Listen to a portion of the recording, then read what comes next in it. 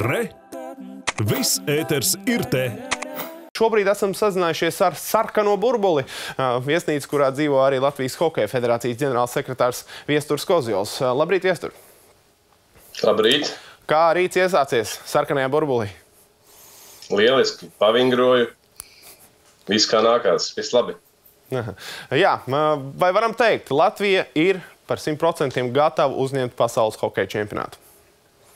Jā, mēs esam gatavi uzņemt pasaules čempionātu, un to jau mēs darām jau faktiski jau šī būs ceturtā diena, kad komandas trenējās. Nu, šodien būs pirmā spēļu diena, un mēs esam gatavi. Jā. Mhm. Protams, ļoti aktuāls ir skatītāja jautājums. Vakar mēs zinām, ka Saima nolēma par to, ka skatītāji varētu būt. Tagad ministru kabinetam ir jāizstrādā savu kārtību. Kāda šobrīd ir sadarbība ar Latvijas Hokeja federāciju tieši ar organizatoru komandu? Kādi ir jūsu nākamie soļi un cik reāli, kad mēs varētu zināt, ka simtprocentīgi skatītāji varēs būt? Mēs esam sagatavojuši abās arēnās sēdvietu plānu lai ievērotu šo maksimālo piesardzību un ka nebūtu katra otrā rinda nav pārdota. Cilvēki sēž izkliedēti, izkliedēti, izkliedēti. Tā kā šis sēdvietas plāns ir sagatavots, tas mums ir gatavs, nu mēs gaidām attiecīgi atļauju uh, apmeklēt skatītājiem publiskus pasākumus, un mēs varam sākt tirgot biļetes. Hokeja federācijas prezidents teica, ka biļešu tirgošanu varētu norganizēt 24 eh, stundu laikā. Kas vēl būtu un cik ātri to var izdarīt? Piemēram, tāpat testēšana uz vietas. Eh, cik tas ir sarežģīti ātri nodrošināt to, lai jebkurš skatītājs varētu tikt uh, testēts pirms ierašanās spēļu arēnās? Ir jāsaprot, kāda būs nosacījuma, ko ministrs kabinets izstrādās. Mēs piedāvājam trīs kritērijus, proti, testēti, vakcinēti vai pārslimojušie jāgaida, teiksim, kas būs šī lēmuma. Ja būs tikai vakcinētie, tad mums ir jābūt obligāti uh, arī uh, sarakstiem, un mums būtu jābūt iespējai pārbaudīt, un jābūt pārliecinošiem. Pārliec, mums jāpārliecinās, vai šie cilvēki ir vakcinēti. Vai arī pārslimojuši. Nu, mums, mums liktos, ka visvienkāršākais bija tieši šie te testētie, uh, jo tur mēs varam būt pārliecināti, ka laboratorijā mēs jau esam sa sazinājušies un mums būtu informācijas pieeja laboratorijas datubāzēm. Mēs zinātu, ka šie cilvēki ir, ir eh, iztestēti un negatīvi. Bet kā, kā, jāgaida, kāds būs lēmums, kurus kategorijas cilvēki tiks, tiks uh, atļauti halē. Sadarbība ar uh, Startautisko hokeja federāciju, kā viņi šobrīd raugās uz šo jautājumu, uh, kad skatītāji varētu būt, vai viņi plāno preses relīzes par to, ka izsūtīt federācijām, lai aicinātu arī ārzemju skatītājus? Uh, tik viegli nebūs ar ārzemju skatītājiem, jo joprojām ir spēkā uh, ceļošanas ierobežojumi no vairākām valstīm. Proti, no vairākām valstīm jāievēro ir pašizolācija pēc uh, pēc ierašanās Latvijā. Ir virkni valstu, uh, cik es atceros, tad, uh, tad Lielbritānija ir šī sarakstā, kad ierodoties Latvijā nav desmit dienas jāsēž pašizolācijā bet ir virkni valstu, kurām šiem skatītājiem būtu jāpavada desmit dienas pašizolācijā. Tā kā šis iet tāds, tāds komplekss jautājums ir, uh, lai ierastos Latvijā pirmkārt, un tad arī iegādātos biļeti. Bet, protams, ka Starptautiskā hokeja federācija, tāpat kā Latvijas hokeja federācija, nu, mēs būsim ļoti, ļoti priecīgi, ja būs skatītāji, jo, jo es domāju, ka pasaules labākie līdzstēji Latvijā ir pelnījuši būt klāt šī notikumā, kuru mēs trīs gadus jau strādājam. Situācija Latvijas izlases nometnē vairāk treniņiem ir aizvadīta, varbūt vai lielā sapulce pirms čempionāta jau ir bijusi. Jā, vakar bija lielā sapulce pirms, pirms čempionāta. Varu, varu atklāt, ka vakar tika prezentēti, lūk, arī viens pirmais, kas tika prezentēts, kapteinis. Vakar tika nu, prezentēti kapteinis, kapteini un divi asistenti cilvēki, spēlētāji, kur tie būs. Tas ir Kaspars Dalgoviņš un asistenti viņam būs Lauris Dārziņš un Andris Dženiņš. Vakar bija tiešām lielā sapulce, kurā Bobs uzstājās, kurā Edgars Masāiskis teica tādu ļoti skaistu emocionālu arī runu. Un, tā kā vakar tāds sapulce bija. Jā, varbūt eh, vai ļausieties ieklausīties tajā sapulcē nedaudz, varbūt, kas bija tās emocionālākās lietas. Es saprotu, ka taktiskās lietas eh, tiek nodotas pirms spēles, bet eh, Bobs Hārtlīs vienmēr uzsver šo, šo patriotismu un mīlestību pret spēli. Nu, es domāju, ka svarīgi ir, lai visi puiši apzinās, ka mēs jau certo gadu esam piedalījušies pasaules čempionātos Boba Hārtlī vadībā. Nu, mēs katru gadu esam, manuprāt, spēles kvalitātei pielikuši. Un šogad jāspēr nākamais solis, ir jācīnās priekšrošana ceturtajā finālā. Nu, viss kopā - patriotisms, disciplīna, atdeve uz laukuma, nedrīkst uh, soda minūtes iegūt nevajadzīgajās situācijās. Bobs Kārlis teica, mūsu mērķis ir nulles, nulles soda minūtes. Viņš saka, ka tas ir izpildāms septiņās spēlēs. Nē, nav izpildāms. Nav iespējams hokeja septiņas spēles nospēlēt bez soda minūtēm. Bet jācenšas to izdarīt. Tā tālāk, un tā tālāk. Maz ielaisti vārti. Jo mēs nu, diez vai mēs, ja Kanāda mums iemetīs 4 vai 5, diez vai mēs Kanādu vinnēsim ar 6-5. Nu, laikam ir vai, vai Somija. Tāpēc mums jāmēģina mazāk ielaist. Mm. Par mērķiem vai tika runāts arī komandas sapulcē iekšienē. Jo saprotu, arī Kalvišs kungs minēja to, ka cīnīsimies par uzvaru katrā spēlē, un, un lai tiktu sākumā ceturdaļfinālā, un pēc tam katru uzvaru var nest kaut, ko, kaut kādu pārsteigumu. Kā, kā varbūt par mēķiem tiek runāt Latvijas hokeja izlasē? Kā tur ir tas, kas Lasvegasā notiek, lai paliek Lasvegasā? Ja? Mums arī tas, kas notiek komandas iekšienē, un kāda mūsu mērķi ir, lai pagaidām paliek mūsu ziņā. Par situāciju burbulī vēl atgriežoties tur, vai, vai joprojām spēlētāji tiek testēti un joprojām neviena Covid-19 pozitīva gadījuma nav atklāta? Nē, spēlētāju es tikko saņēmu no rīta ziņu no, no, no, no mūsu medicīnas galvenā cilvēka visā burbulī. No spēlētājiem nav neviens atrasts, bet ir daži, daži viens ir no, laikam, no, no, no, no broadcasteriem, laikam viens žurnālists ir negatīvs. Un vēl vairāk ir ja pozitīvs. Vairākiem, dalī, pozitīvs, jau vairākiem dalībniekiem pasaules čempionāta nespēlētājiem ir jāveic atkārtotas pārbaudas, bet neviens nav nu, burbuļu pagaidām. Nu, vakar mēdījos parādījās informācija, ka vairāk Krievijas Olimpiskās komandas delegācijas pārstāvji bija redzēti uh, ielās, tā, Rīgas ielās. Tie tātad nebija tie no sarkanā burbuļa. Vēl, vēlreiz varat apstiprināt. Ja? Nē, tie bija Krievijas izlase atsūtīja uz, uh, uz čempionātu. Uh, iekārtot viņiem ģērbtuves ātrāk uh, savu desantu, jo viņi ieradās uh, tiešā, tiešo reisu no Prāgas diezgan vēlu naktī un uzreiz devās burbulī.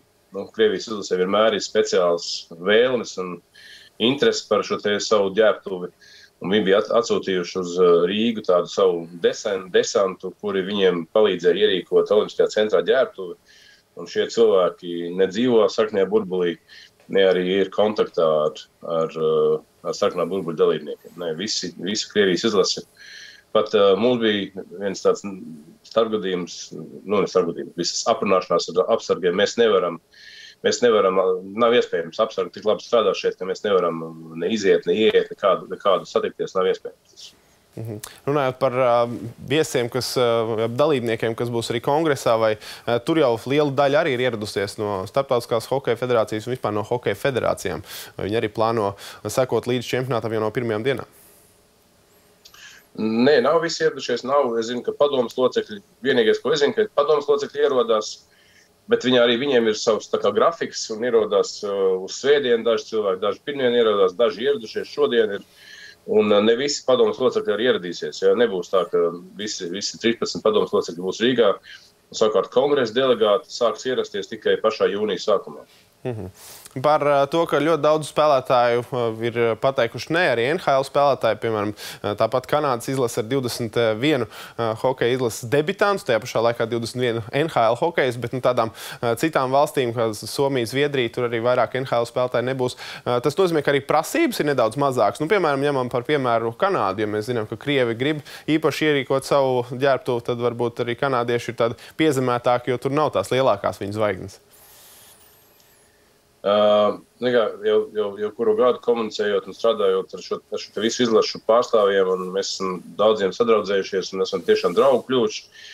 Uh, ir acīm redzams, ka jo augstāka komanda ir rangā, uh, jo mazākas ir prasības. Viņi fokusējās nevis uz procesu, bet uz rezultātu. Piemēram, mums ir pretī mūsu dēļ tieši Somijas izlase. Ir, arī Rīga ierasto teiksim, divu, divu nu, augstākais četru komandu vietā, mums ir astoņas. Un, protams, tur ir saspiesti, protams, tur ir šauri. Bet es teiksim, vēroju tos pašus somus. Viņiem neinteresē tādas lietas kā neērtība ekipējuma menedžeriem vai mazāk treneru istabiņa.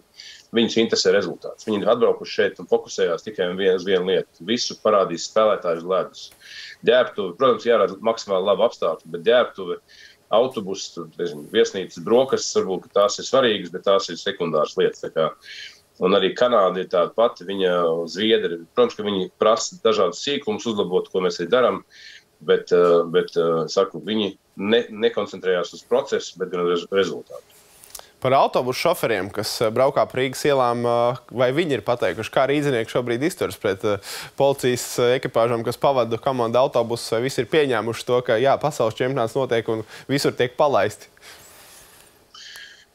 Uh, es ar autobusu šoferiem neesmu komunicējis. Es to nemaz nedrīkstu darīt, jo, jo autobusu šoferi, piemēram, autobusā priekšdurvis ir aizvērts. Autobusu šoferi nedzīvo tādā burbulī. Viņiem ir, viņiem ir stingri noliegts ar, ar komandām komunicēt. Es neesmu prasījis, bet es ceru, ka rīdznieki, rīdznieki ir saprotoši par šo nērtību, kas šeit tad ir. Jo mēs tiešām gribam maksimāli ātri šis, te, šis te grafiks, izējot no viesnīcas, lai nokļūtu arēnā. Uh, ir ļoti saspringts. Mēs maksimāli mēģinām izdarīt tā, lai nav, nav drūzmēšanās gan arēnā, gan arī viesti, viesnīcu vestibilos. Lai mēs maksimāli šo loģistiku nu, pa minūtēm, burtiski ik pa piecām, septiņām minūtēm, mēs mēģinām izdarīt tā, lai komandas pēc iespējas ātrāk tik prom savās ģērbtuvēs uz ledus.